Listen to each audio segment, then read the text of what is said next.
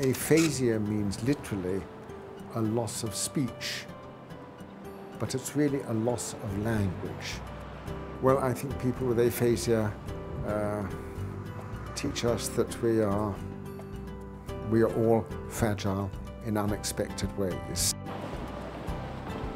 But they will also teach us how circumscribed this may be and how the person the brain will immediately find, find other ways of, uh, of dealing with the situation. Imagine that they woke up in a foreign land, say Poland. They look around them and everyone around them is speaking Polish and they don't understand the language, but they understand everything else about the world that they used to understand.